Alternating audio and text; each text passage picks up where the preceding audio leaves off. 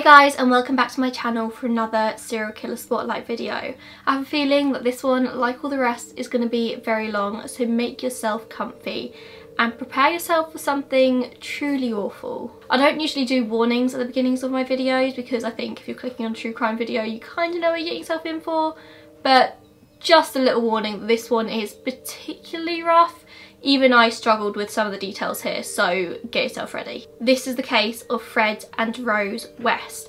And we're going to start with the story of Fred West. I'll talk you through some of his background. So he was born on September 21st, 1941 in Muchmarcle, Herefordshire in England. He was born to Walter and Daisy West. He was one of eight children, although only six of them survived, and he was very, very much his mother's favourite child, like, and she would make that very clear to everyone. In 1946, the family moved to Moorcourt Cottage on Moorcourt Farm, which is where his father worked as a farmhand. And the children were expected to help out on the farm and they were very much put to work by their father, who was a very strict man, a strong disciplinarian, and he wasn't scared to punish his children if he deemed them to be doing something wrong, which I think was a lot of the time. Now Walter West wasn't much of a great guy, like father like son, and he reportedly would show Fred how to engage in bestiality with the animals on the farm, from a very young age. But it is worth saying that a lot of stuff about Fred's childhood came directly from Fred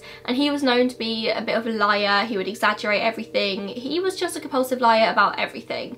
And so a lot of what Fred says about his childhood we will never really know if it's true or not. But it is worth saying that Fred's brother Doug actually came forward years later and said that this wasn't true, his father ne never showed Fred how to engage in bestiality with the animals. But I suppose we'll never really know. In general though, it seemed like Fred and his father did have a fairly good relationship. I couldn't really find anything that showed his father ever like really severely abusing him. I think he was just a very strong disciplinarian and would punish all of his children, so Fred wasn't exactly the odd one out. Um, and I think in general they got on pretty well from what I could gather. But it probably was because Fred was just as messed up as his father. And his father had a saying that Fred would seem to carry on through the rest of his life. And this saying was, do whatever you want, just don't get caught doing it.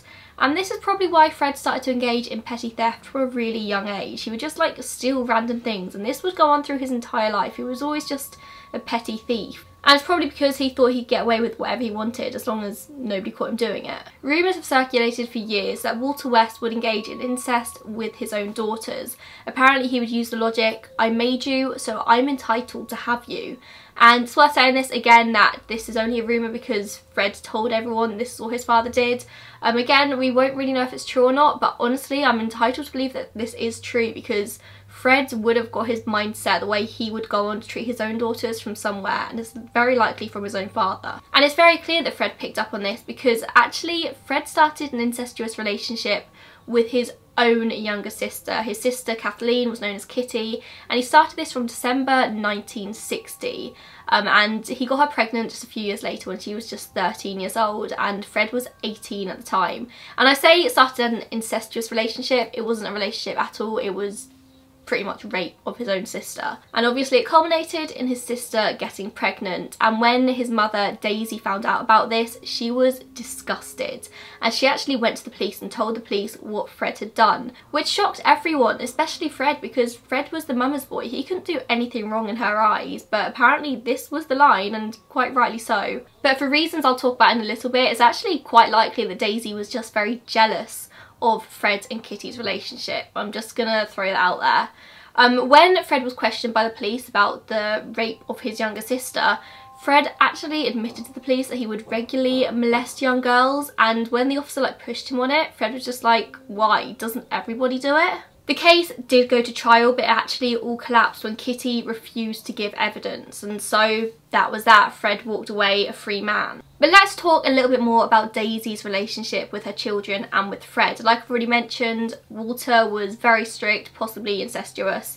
Um, and Daisy was hugely, hugely overprotective of her children, particularly her favourite Fred. And so it was a huge shock to him, like I said, when Daisy actually reported him to the police. But Fred wasn't a particularly smart person. His IQ is reported to be around 84, which is just very, very low. And of course this meant that he never really did the best in school. He would always be the last one in the class, always lagging behind. And because of this, he would often misbehave, just maybe a way to get attention, maybe that's just who he was. And Daisy apparently would regularly march down to the school in this quite a small sort of village and she'd march down to the school and the kids would see her coming and she'd go into school and she would just scream at the teachers for disciplining her favourite child. And the school kids would say it was their favourite time of the week. They would literally wait for Daisy to come and shout at the teachers. But of course this did make Fred the subject of many a playground joke. Now Fred would later claim that his mother actually was the one to teach him about sex around the age of 12 and I'm not talking about the birds and the bees talk here.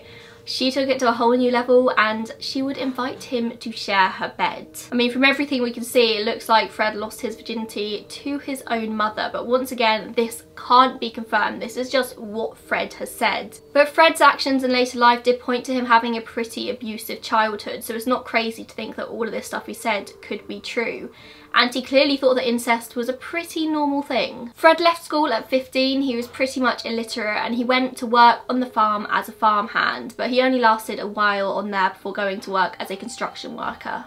When Fred was 17, he was seriously injured in a motorcycle accident. So yes, we have yet another serial killer here with a head injury. Now, the accident he had left him in a coma for a week and he had to have a metal plate inserted into his head to basically hold his skull in place. Um, his leg was also really badly broken, which resulted in him walking with a limp for the rest of his life. Then just a couple of years later, he's attending a local youth club and he attempts to stick his hand up a girl's skirt and they're standing on a fire escape. This girl turns around and just pushes him. Good on her, I would do the same.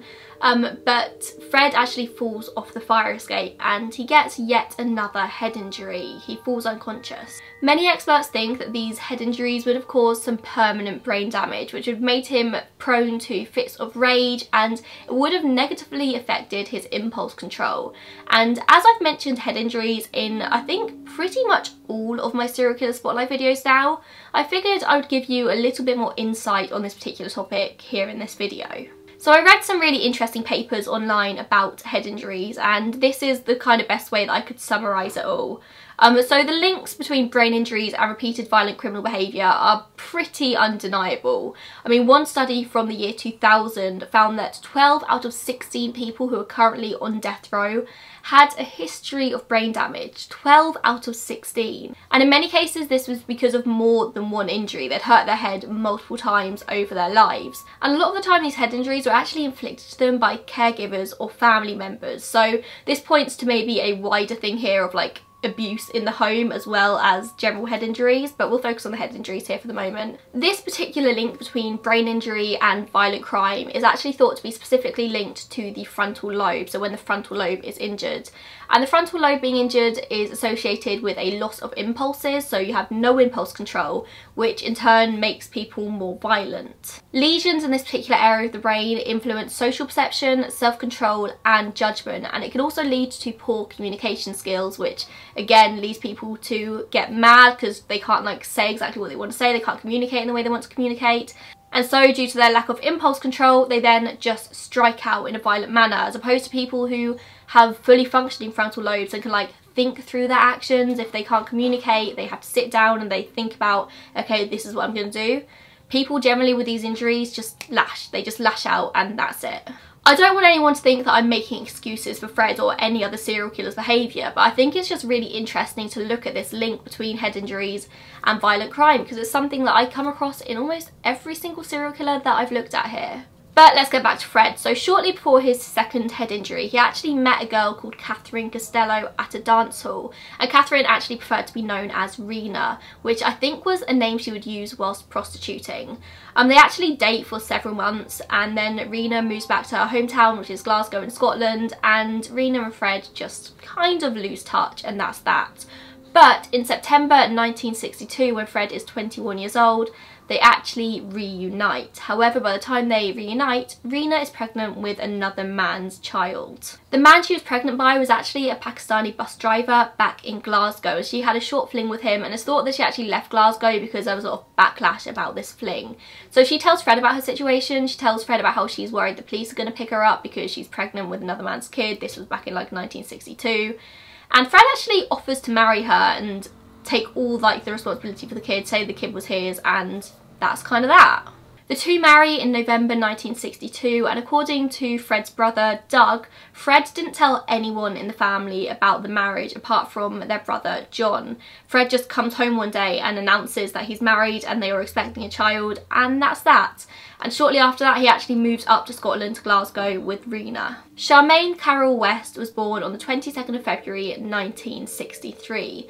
But of course Charmaine was half Pakistani and so she was born with noticeably darker skin and they had to come up with a cover story. Fred told his family that Rena had actually miscarried and so they decided to adopt another child from the city. Um, a year later, in July 1964, Rena actually gives birth to Fred's first biological child and that is Anne Marie. Everyone who knew the family at this point said that Rena seemed to be a good mother. She would struggle with money but she did the best she could with what she had. They said the children looked happy and healthy, there was nothing to suggest they had any problems. Um, but Fred was known to treat the children quite harshly. Like his father, he was a strong disciplinarian, he would punish them for anything and everything. Apparently when he was home from work, he'd put them in what was essentially a cage. They had these bunk beds and he like put rods around the bunk bed so it was it was a cage pretty much and he put the girls in there and he told Rena they were only allowed out when he was at work. In 1964, a girl called Anne McFall comes into the story. Now, Anne McFall was a friend of the family's nanny, Isa McNeil, and Anne was only 16 years old, and she begins to spend a lot of time around the West house. She seemed to have this infatuation with Fred. And Anne had actually recently lost her boyfriend in a workplace accident, so it's likely she was just projecting her feelings. And she was very clearly going through quite a hard time because Fred was genuinely a disgusting person. He wouldn't wash. Anyone who knew him said that he just had very poor personal hygiene. He would rarely brush his teeth and let alone washing anything else. He was just generally pretty gross and it's also around this time that his sexual appetite changes. He begins to dismiss all types of vanilla sex and he demands only like BDSM, sadism, he just had all these sexual demands and honestly he kind of scared Rena from what I could figure. Eventually it became clear to Rena that Fred was anything but faithful. She wasn't meeting his sexual demands and so he was finding them elsewhere. And so she has an affair herself with a man called John. And John apparently once witnessed Fred attack Rena and so in response punched Fred in the face. And he would say years later that Fred didn't fight back when he punched him. He literally just stood there and took it. When it came to having a physical fight with a male, he couldn't bring himself to do it. But he would treat women like shit. Apparently another time, John witnessed Charmaine, who was a toddler, ask Fred for an ice cream. He was an ice cream van driver at the time. He drove an iconic Mr. Whippy van. Um, and Fred just hit Charmaine across the head in response. And of course, Charmaine was always treated worse than Anna Marie because Charmaine wasn't Fred's actual child. I mean, when you first heard that Fred was taking on Rena's child, you probably thought, oh, that's a nice thing for him to do. But don't get it wrong, he was not nice towards Charmaine. He really, really abused her. In November of 1965, Fred accidentally kills a four-year-old boy when he's reversing in his ice cream van. And this is thought by pretty much everyone to be a genuine accident. He didn't mean to kill the boy, he was just in his blind spot. But to escape all of the backlash he was getting from this, because of course, even though it was an accident, he still killed a four-year-old, um, Fred and Rena actually move back down to Gloucester and Fred gets a job in an abattoir of all places which is very fitting. Both Isa McNeil and Anne McFall actually moved down to Gloucester with Fred and Rena. But in order to escape Fred's sadistic sexual demands, both Isa and Rena actually moved back up to Scotland in 1966 and Anne and the children stay with Fred. I think Rena would come down quite regularly to Bishop's Cleeve where they all lived as she missed the children, she wanted to see her daughter daughters um, but I just don't think she was able financially to take them with her back up to Scotland. Rena worked as a prostitute I think for most of her life and so she probably thought she was doing the right thing by leaving them down there with their father even though he was quite clearly abusive. So Rena comes down constantly to visit her children and when it becomes clear to her that Fred's abusing them pretty badly, she tries to get custody back but she can't, she has no way to do it. And she very much begins to resent Anne because Anne has kind of taken on Rena's role as the mother and it's pretty obvious that Anne and Fred are sleeping together at this point. At one point, Rena's so mad that she just steals a load of stuff from the caravan where Fred and the kids live, and Fred actually presses charges against his own wife. Um, she has a trial in Gloucester and she was sentenced to three years probation, which is kind of shocking when you hear about all of the things that Fred got away with in his life but he had the nerve to press charges against his own wife for stealing some things which you probably could argue were rightfully hers. Um, it was no shock to anyone when Anne fell pregnant with Fred's child in 1967. She was still infatuated with him, like nothing he would do would put her off. She was like in love and he promised to divorce Rena and marry her but of course at this point he has no intention to do so. She's only 18 years old and Fred is 26 so the whole relationship is questionable. And in July, when she's eight months pregnant, Anne McFall just disappears. And nobody ever reported her missing, but her remains were found buried at the edge of a cornfield between Muchmarcle and Kempley in June of 1994. All of her limbs had been carefully separated at the joints. The baby had been cut from the womb. Some of her fingers and toes and her kneecaps as well were all missing. And this would go on to become Fred's trademark. Whenever he buried a body, he would remove some fingers, take some toes and take away the kneecaps.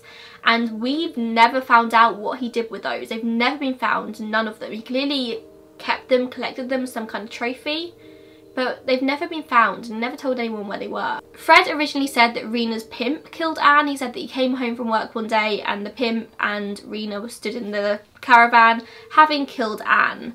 But then he changes his story and says that he did it after an argument and then he changes it again and says he didn't do it and goes back to blaming it on Rena. But Anne was found with sections of dressing gown cord wrapped around her wrists which very much suggests that even if Fred did kill her, it wasn't an accident, it wasn't a moment of violence after an accident. She'd been tied up and most likely tortured. It wasn't spontaneous. So now with Anne out of the picture, Rena actually moves back in with Fred. I think she just thought that Anne had left. I don't think she ever really knew about the murder, but we'll never know. Um, and then the following year she actually leaves Fred once again because he gets violent. Um, the girls, Charmaine and Anne-Marie, were in and out of care at this point. Fred would place them with social services when he couldn't quite be bothered to care for them and then he'd take them back when he wanted them. He was spending time in and out of jail as well for all his petty theft. So when he was in jail he'd just send the girls off to social services and then collect them when he was home. I mean it's shocking really that nobody picked up on what was going on.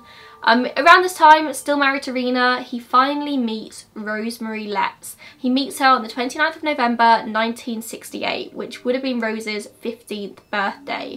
Now, I'm not somebody who necessarily believes in soulmates, but these two were a match made in hell. They would go on to cause so much pain and terror, Imagine if just this one day they'd never met. It seems like a cruel twist of fate that the universe would ever allow these two messed up people to meet. If they'd never met, how many lives would be saved? Would they have still acted the same way? Would they have done the things they'd done just on their own instead together? I don't know. So like I said, Rosemary Letts was born on 29th of November 1953 in Devon, England to Bill and Daisy Letts. Her mum was called Daisy as well. And her childhood seemed to be just as tumultuous as Fred's was.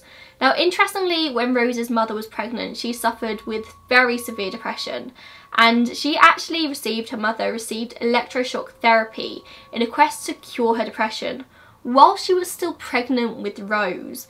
Now I would say there's probably a pretty strong chance that all of this electroshock therapy may have affected Rose's development in some way, but of course there's no way of knowing that for sure. And her mother's depression affected her childhood in many ways, but her father was also mentally ill. He was a diagnosed schizophrenic, but apparently he never actually told his family about his diagnosis. They all just thought his schizophrenia was just him, but really he was very, very mentally ill. His schizophrenia caused Bill to be a violent man and he demanded unconditional obedience from his family, from his wife. He ran, like very much like Fred's father, a very, very tight ship. He would punish children for anything and everything. They weren't allowed to speak and play like normal children. And he would do all this whilst failing to even provide for them. He would jump from low paid job to low paid job. They really struggled for money because he just couldn't hold anything down. It's no surprise that Rose was let's say different as a child. She had a habit of rocking herself back and forth like all the time. She would just sit there from when she was a baby up until like well into childhood. She would just sit there rocking back and forth, it possibly in a way to soothe herself. She would just sit in her cot or her pram rocking her head back and forth for hours and hours on end. She was dubbed as Dozy Rosie due to the fact that she was a lot slower than the other children and she was obviously not very intelligent. But she was smart enough to figure out how to satiate her father, how to work around his temper.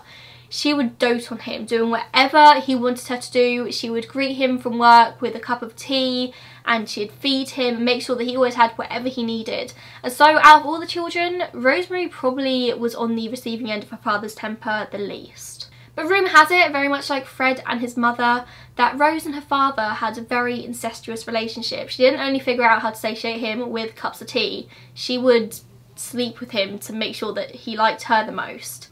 Which once again is technically rape on his behalf. Possibly as a direct result of her and her father's relationship, Rose would show signs of being sexually precocious at a very young age. She would reportedly walk around the house naked in front of all of her younger brothers and she would also climb into her brother's beds and sexually assault them.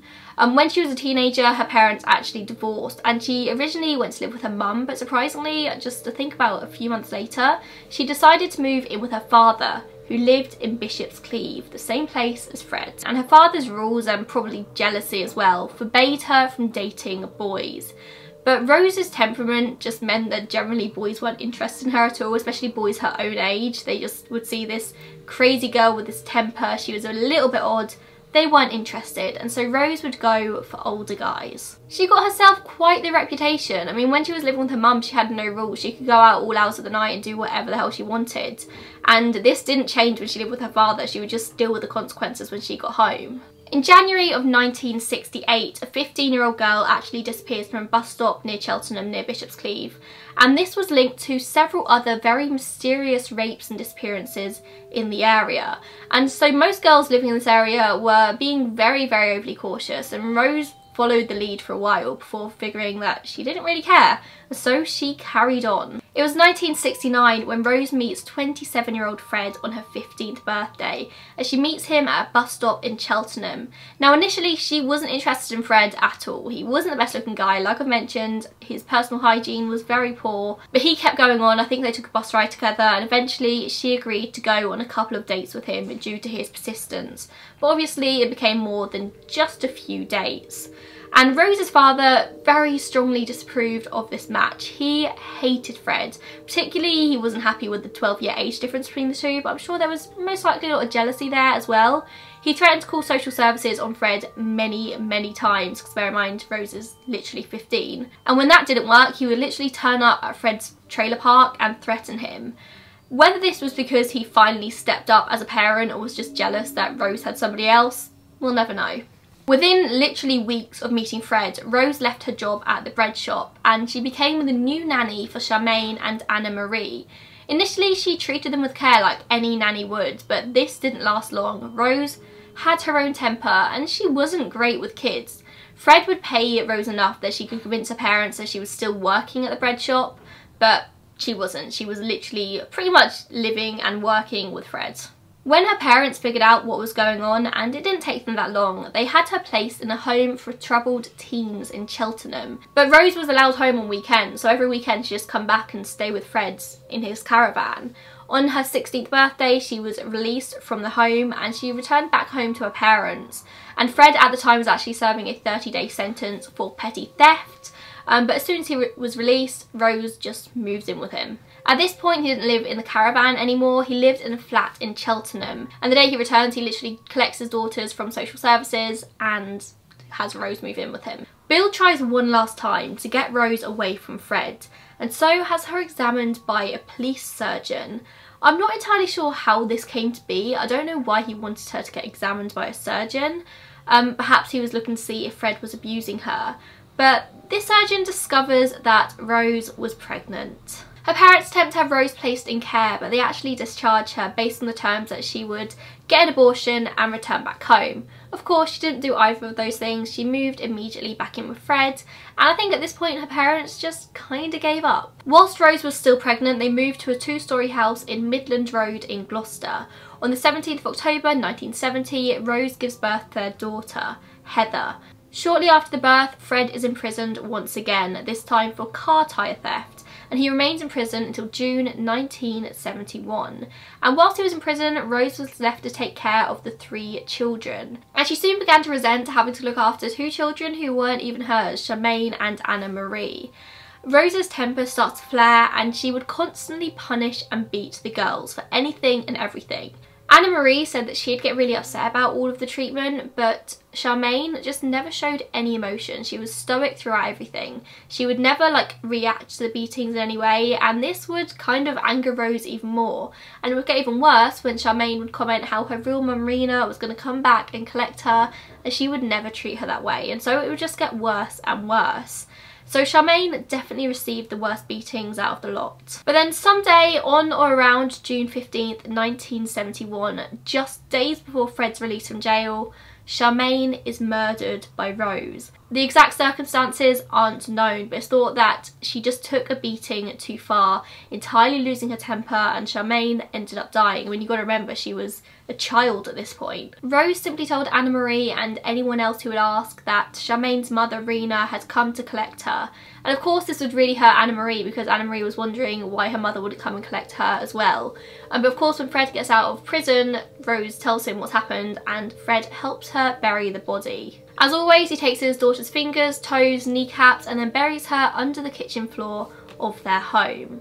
But it was only a matter of time before Rena would come looking for her daughter. Rena would still stay in contact with her kids. She'd come visit quite regularly. And she realises that Charmaine is nowhere to be found. She can't even find out where Fred lives now. He's moved house and hasn't told her. So she goes to his family home, Moor Court Cottage, and asks them where Fred is. They give her his address and so she turns up at their home. And that's the last time that's ever heard of Rena. She's believed to have been murdered by strangulation, likely in Fred's car. Her body was later discovered in a similar area to where Anna McFall was buried, buried close to Yew Tree Coppice at Letterbox Field.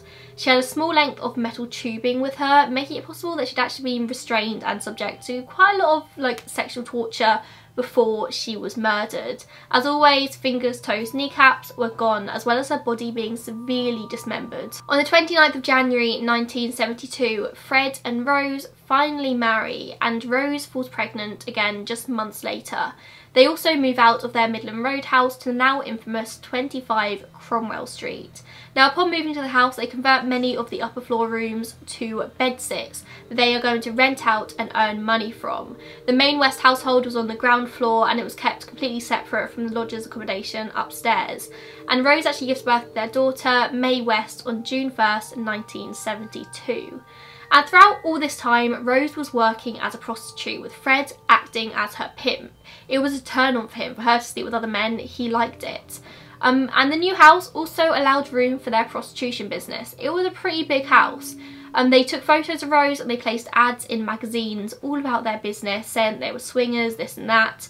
Um, but Fred was very, very particular and he only liked Rose sleeping with black men. And luckily for him, Gloucester had a very large West Indian population. Fred drilled peepholes in the wall so he could watch Rose as she had sex with these men.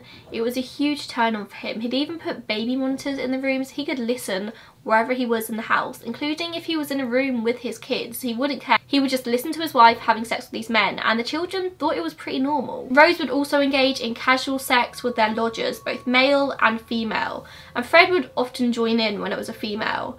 Regular sex, regular sex wouldn't satisfy either of them. They thrived off other people's pain and their own dominance. Sickeningly, one of Rose's best clients was actually her father, Bill. So clearly Bill and Fred put their differences aside at one point and I think they actually opened a cafe together at one point but it didn't last very long, it went bankrupt very quickly. By 1983, over the course of her and Fred's marriage, she actually gave birth to eight children, but not all of them were Fred's. A lot of them were her clients and they were mixed race.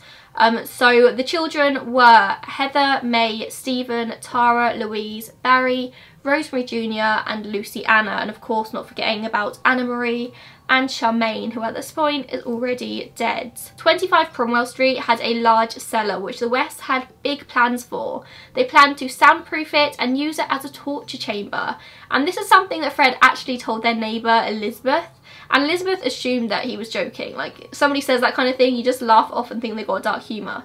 Fred wasn't joking. At one point, Fred and Rose returned home quite late and Elizabeth was babysitting for them.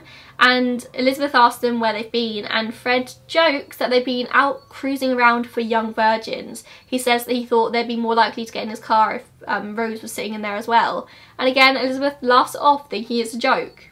Once again, it wasn't. Later on, Elizabeth is actually drugged and raped by the couple. Eventually, they finish the torture chamber and their first client in the torture chamber was their eight-year-old Anne-Marie. I told you guys this one is dark. Um, I am not going to talk about this in detail. All you need to know is they raped, drugged, abused multiple women in this torture chamber. Um, I've read details I don't want to know and I don't really want to inflict it on you. If you want to know, you can Google it, but I just I don't feel like I need to go into detail about what these girls endured, just know that it was very dark, very sadistic, and that's that. But yeah, the two of them raped their eight-year-old daughter, Anna Marie. Um, her father raped her whilst her mother held her down, and she was told by them that she was lucky that she had parents who cared so much about her. As you can probably guess from all this, the West children just were not treated well. They had strict guidelines, severe punishments if they did anything wrong. Most of their punishments were actually doled out by Rose. Um, Fred had very little to do with the day-to-day -day care of the children, including punching them. Everything was Rose, and all the children said that Rose was definitely like the meaner one of the two. And between 1972 and 1993, the West children were actually admitted to A&E 31 times and all of the injuries were just explained away by their parents as being like accidents they fell down the stairs this happened not once did anybody ever pick up on it, 31 times. These children got failed by the system time and time again. In late 1972, Fred and Rose pick up 17-year-old Caroline Owens and they hire her as their nanny. And I mean like they literally pick her up from the side of the road. She's hitchhiking home down a country lane from her boyfriend's house. Fred and Rose are driving down the road, see this girl and so pull over and ask her to get in. Um, and so just a few days later, she moves into the West household. And now bear in mind at this point, this is 1972, so there's only three children. It's only Anna Marie, Heather and Mae. Rose tells Caroline that she's a masseuse, so she wouldn't question all of the men in and out of the place all day. Fred also brags to Caroline about being a skilled abortionist should she ever require his services. And this is something he would apparently brag about quite a lot. Whenever he met a different woman, he would tell her that he was an abortionist and if she ever needed him, he was there and he was really, really good at it. It seems that he thought this is something that women found attractive about him, but of course it wasn't. And also being the compulsive liar that he was, it wasn't even true. It's very likely that it was all just lies. And he claimed to Catherine that women were so impressed with his services that they would sleep with him to say thank you. As you can imagine, Catherine soon found herself the very centre of the West's attention. They were constantly making sexual advances on her, she would deny them, and she just found it all very, very uncomfortable. So she decides to move back home because of course she would. But on December 6th, 1972, the couple go out driving with the intent of luring Catherine back to their home. They drive past her as she's hitchhiking down the same road where they first met her. Um, they knew this was a road she walked often, she'd be walking home from her boyfriend's house. Um, and they pull over and offer her an apology. They say they're so sorry for all their actions, they're really embarrassed and they just want to make it up for her. They offer her a lift and Catherine accepts their apology and she thinks they're being sincere, assumes that she's taken things the wrong way, feels a bit silly and so decides to get in the car. So Fred drives and she sits in the back with Rose and Rose says that she wants to have a girls chat. As Fred begins to ask some very inappropriate questions and then when Catherine obviously protests to this, Fred stops the car, punches her in the head which renders her unconscious and they then bound and gag her before dragging her back to their house. And they take her down to the cellar, the torture chamber, and they sexually assault her, they rape her. And this continues on until the next day. And then the West just ask her to return as their nanny and she's worried about what they're going to do if she says no. So she just agrees to go back to their being their nanny. So she goes upstairs, starts like hoovering to prove to them like, yeah, I'm doing my job, this is it. Um, and then her and Rose later that day go out to the laundrette and whilst they're there, Catherine obviously sees it as a chance to escape so just runs out of the laundrette and runs back home. And originally she doesn't say anything to her mum, she like stays very quiet. Um, and it's only when her mum noticed that she was covered in bruises and welts and she was just very badly injured that she tells her and her mum obviously goes to the police. The trial was due to go ahead on the 12th of January 1973 but Catherine actually decided that she couldn't go through with it. She couldn't relive all the details of her assault. Obviously it was really traumatising for her and so all the charges were dropped apart from the indecent assault and the actual bodily harm charges. They still went ahead because they could go ahead without Catherine's testimony. Um, they both pled guilty, Fred and Rose, and they were fined just £50 each. Obviously £50 was worth a lot more back in the 70s, but it's still not enough. And this is despite Fred's pretty extensive criminal history at this point. They would have looked at all the stuff he'd done and still thought, oh yeah, this is a guy who shouldn't go to prison. They allowed them both to go home and they continued their abuse. I remember at this time, Fred is 31 years old. Rose is just 19. She's 19 years old. Their first joint murder would happen just months after the court case, with the death of 19-year-old Linda Gough. Now Linda Gough moved into 25 Cromwell Street to look after the children. She was their new nanny and she moved in on the 19th of April 1973. By the 20th of April, Linda was nowhere to be seen. The other tenants were told that Linda had hit the children and so the West had ironically asked her to move out. Um, and when Linda's mother came looking for her days later, because she was really close to the mother and her mother knew that Linda wouldn't just disappear, Rose denied that she'd ever met her, but she was literally stood in the doorway wearing Linda's clothes. And her mum knew that, and I think her mum pointed that out, because then suddenly Rose magically remembers, and she tells her mum that Linda has said that she's moving away to Weston-super-Mare, when in fact her remains were buried just a few feet away in the garage. When Linda was eventually found years later, she had been dismembered with her signature fingers, toes, knees removed. Her jaw was wrapped in tape and two small tubes were found in the nasal cavity. There were long sections of string and knotted fabric found with remains and it's very likely she died from strangulation. And it was actually very shortly after this that the couple's first son, Stephen, was born. And the next victim was 15-year-old Carol Cooper, who was abducted on the 10th of November 1973. Now she lived in a children's home in Worcester and she disappeared after a night at the cinema with her boyfriend. Um, she was last seen waiting at bus stops, so it's very likely that Fred and Rose just simply pulled over and abducted her into the car. Again, she would have been sexually abused and likely died from strangulation or asphyxiation after about a week of torture, um, she was also buried underneath the cellar. Little over a month later, university student Lucy Partington disappeared while she's visiting her mum over the Christmas holidays. So she disappeared on December 27th. Again, she was likely forced into a car whilst waiting at a bus stop and again would have been tortured for a week and then buried under the cellar. And they theorise that Lucy died on or just before January the 3rd, 1974 because on that date Fred actually had to go to A&E because he had a very deep cut, I think it was on his hand. Um, and years later they pretty much guessed that he probably cut his hand whilst he was dismembering her body. Obviously both these girls along with Linda are reported missing but there's nothing really to link them to the West or anybody else. The only one with a link to the West is Linda. Um, three more girls actually meet the same fate between April 1974 and April 1975. This is 21-year-old Therese Siegenthaler, 15-year-old um, Shirley Hubbard and 18-year-old Juanita Mott. All of their bodies were later found buried on the property and they had bondage equipment still attached to them, tape, rope, small metal tubes, I'm again hesitant to go into more detail than that, but if you want to know more specific details, then please Google it. Throughout all of his murders, Fred was very much still attracting police attention with his continuous petty theft. Most killers would try and stay off the police's radar, but Fred, it just didn't bother him. Perhaps he thought that because he got away with so much in the past that he thought he was untouchable. At some point in 1976, the West enticed a young woman into their home. Now this woman's always referred to as Miss A by the courts, I can't give you her real name. Um, she witnessed the torture and rape of two girls in the cellar. One of them was very likely Anna Marie. In 1977, they had an 18 year old lodger living upstairs called Shirley Robertson and Shirley found herself in a strange three-way relationship with the couple and she ended up pregnant with Fred's child shortly after Rose had actually given birth to their daughter Tara who was the biological child of one of her clients not of Fred. Now whilst Fred loved the fact that Rose was pregnant by another man Rose hated the fact Shirley was pregnant with Fred's child. And she made it very clear to Fred that Shirley had to go. And so Shirley soon joins the rest of the girls buried at Cromwell Street.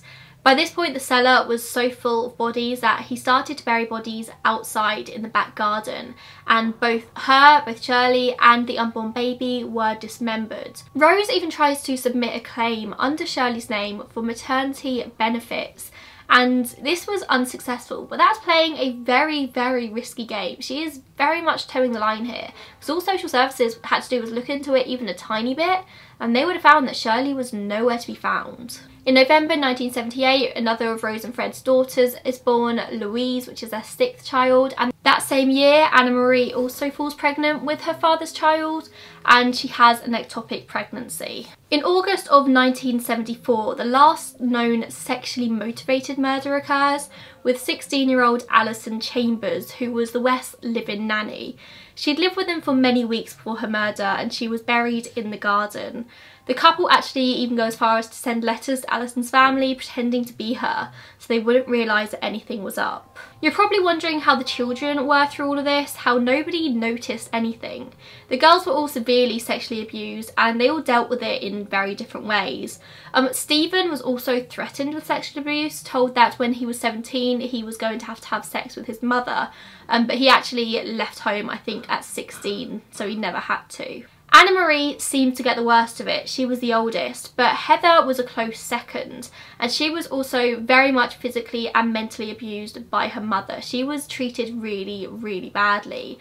She showed all of the classic signs of abuse at home. Her parents were constantly taught her, saying that she showed lesbian tendencies, which is ironic because Rose was definitely bisexual herself. Um, and this was basically because she would flinch at her father's advances. She didn't want to have sex with her dad, and so this made her a lesbian apparently. Um, when she spoke to her mother about what her father was doing to her, Rose would simply laugh and say that she probably deserved it. And Heather spoke to her siblings constantly about how she just wanted to run away and get out of there. Um, and Heather showed all of the signs of abuse at school, all of the classic signs, and she complained to her friends about what her and her siblings went through. And the school did notice small things, like how Heather would refuse to change after a PE lesson. She'd never take off her clothes in front of anyone. But when people did spot her injuries, she'd say that she got them from fights with her siblings, only confiding in her closest friends what was really happening. Obviously, there was a lot of schoolyard gossip about what would go on in the West household. Everyone knew that Rose was a prostitute, and Heather would confirm everything as true. Where the school never intervened, we'll never know. Heather particularly was failed over and over again because it seems like she was the main person speaking out about what was happening and nobody was paying attention. Heather left school at 16 in 1986 and she immediately starts applying for these jobs all across the country. She's just trying to get out of there and every time she'd receive a rejection she would apparently be heartbroken. She received a rejection on June 18th for a job as a cleaner that she really wanted and apparently spent that night crying herself to sleep. But by the 19th, the morning of the 19th, she was back to her usual self, which wasn't a happy, bubbly child by any means, but she wasn't crying anymore. Her siblings went to school, leaving her sat on the sofa, and when they returned home, Heather was gone. Fred and Rose told them that she'd been offered the job in the end, and so she'd moved to Torquay but this wasn't the case. Whenever somebody asked where Heather was, they'd make up all kinds of lies. But Fred would often joke with the rest of the children whenever they misbehaved, threatening that they would end up under the patio like Heather if they continued doing what they were doing. They all assumed it was a joke, but it wasn't. The story culminates in May 1992 when Fred rapes 13 year old Louise, I think for the first time. When Louise confides in her mother what happened, Rose simply replies, oh well, you were asking for it. And these rapes would continue over the coming weeks, with Fred raping Louise multiple times, he even filmed one of them. And eventually when Louise confided in a friend what had happened, this friend told her mother, and this mother luckily called the police. On August 6th, 1992, the West household is searched under the context of stolen property. But what they were really looking for was proof of child abuse. And they didn't find anything incriminating in the house, but Louise made a full statement to the police telling them everything, everything that happened throughout their childhood and the next day, all of the children were placed in foster care, at least all of the younger children. And they had medical exams which showed proof of physical and sexual abuse. The children were all intensively interviewed by the police and they all mentioned one particular thing. The repeated threats of being buried under the patio, just like Heather. A full-scale investigation begins with Detective Constable Hazel Savage taking the lead on the case. Hazel knew of Fred West. She dealt with him years earlier when Rena and Charmaine were still in the picture and she knew all the stories about Fred's sexual perversion so she very much went into it with the mindset that there was something up with this family. She personally talks to Anna Marie who had actually already left the house by this time. Anna Marie was married, it was 1992 um, and Anna Marie tells her all the stories of her parents' abuse while she was growing up. And Anna Marie also says how concerned she is for Charmaine because Charmaine was her sister. They spent their childhood together and she hasn't seen her in years. DC Hazel Savage had everything she needed to bring child abuse charges on the West but she needed to further investigate what happened to Charmaine and Rena and Heather in order to get the full picture. Insurance and tax records showed that Heather hadn't been employed or visited a doctor in four years. So either she'd left the country or she was dead. Fred was already arrested at this point and he was in jail. He'd been charged with three counts of rape and one of buggery and this would soon turn into a murder charge. Um, and Rose knew it wasn't long before the police came for her. She tried to overdose but her son found her. At one point, the case almost completely collapses when Anna Marie and Louise refused to testify in court.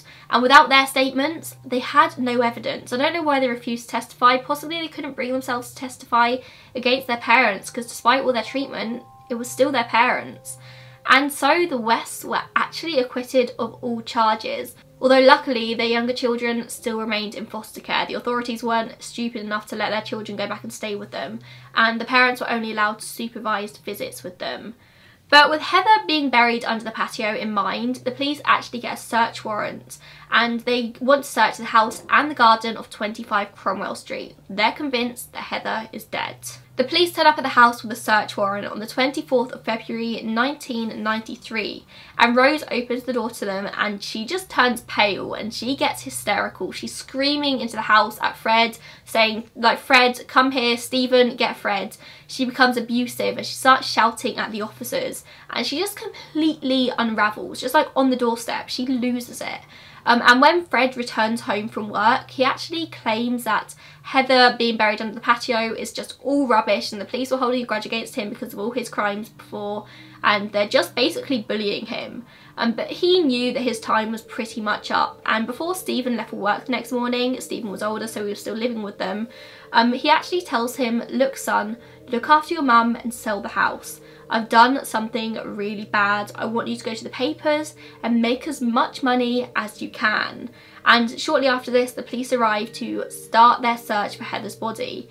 And as soon as the police arrive, Fred just confesses to the murder. He's taken to the police station and gives a full confession and obviously he's arrested. He confesses to strangling Heather in a fit of rage before dismembering her body. He insists that his wife had no knowledge whatsoever of Heather's murder. He even tells them that they've been digging in the wrong place in the garden and offers to show them where they should be digging to find the body.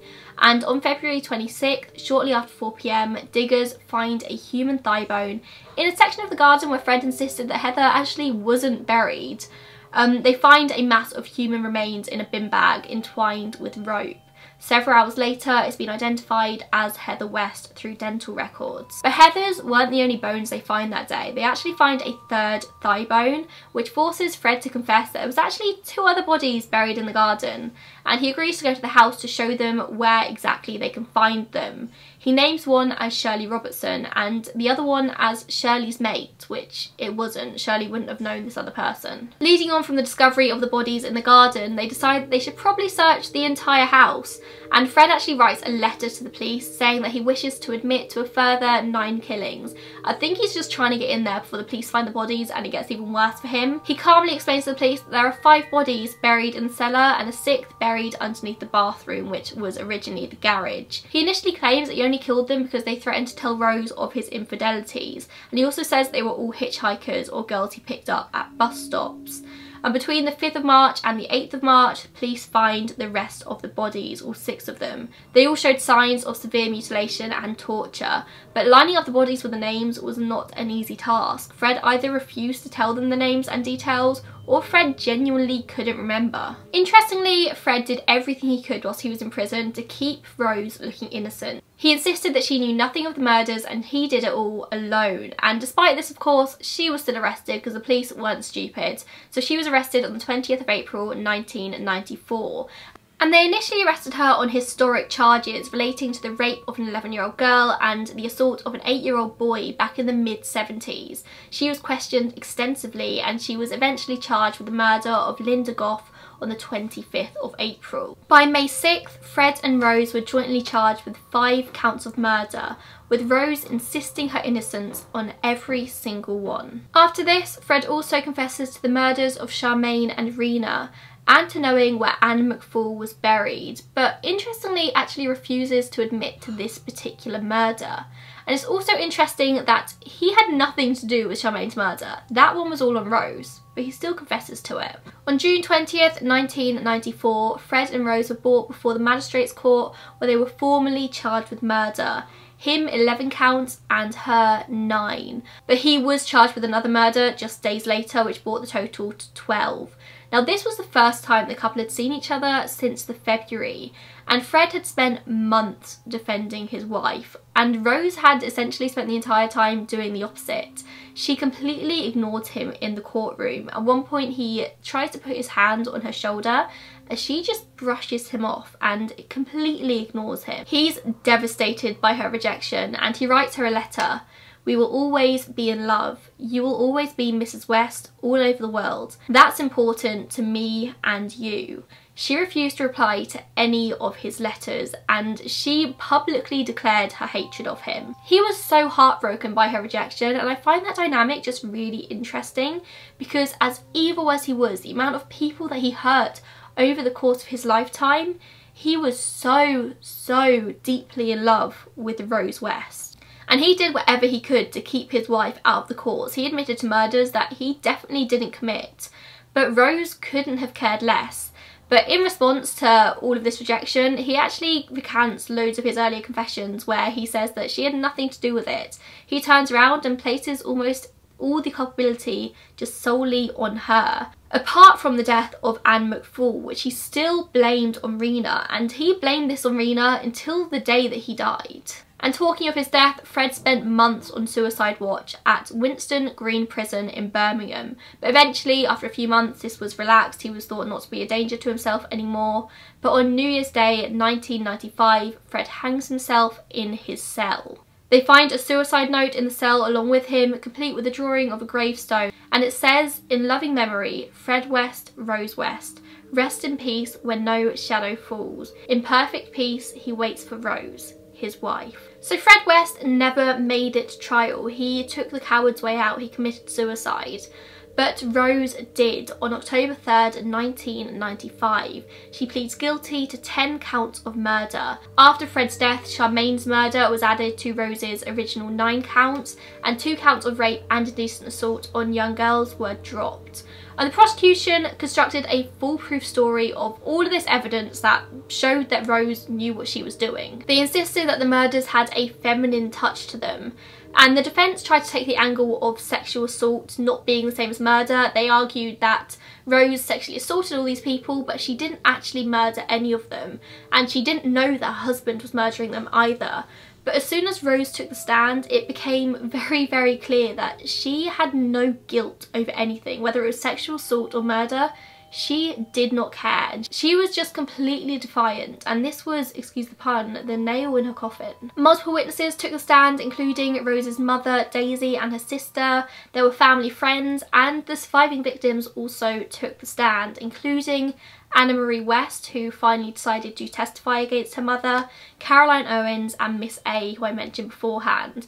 And all of these people insisted that Rose was more violent and more aggressive than Fred ever was. The defence attempted to use Rose's childhood as an excuse, saying the sexual abuse from her father had basically messed her up, she was bullied all throughout her childhood for being overweight. But sadly, of course, a lot of people do all these things as a child and they don't turn out to be the way that Rose did.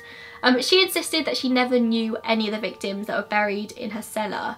But the authorities had a secret weapon in the form of Janet Leach, who had acted as Fred's appropriate adult throughout all of his time in jail. She was basically someone who would accompany him to all of his interviews and things like that, and she was someone that he could talk to and confide in, and he really trusted her. So he told her everything, but due to confidentiality reasons, she felt that she couldn't really go to the authorities and say. And all of this stress caused her to have a stroke. And it was only after Fred died that she felt she was able to go to the police and tell them exactly what he had told her, which is that Rose had a huge part in all of the murders. That she had single-handedly killed Charmaine and Shirley Robinson and apparently he'd made a deal with his wife before he was arrested that he was to take all of the blame.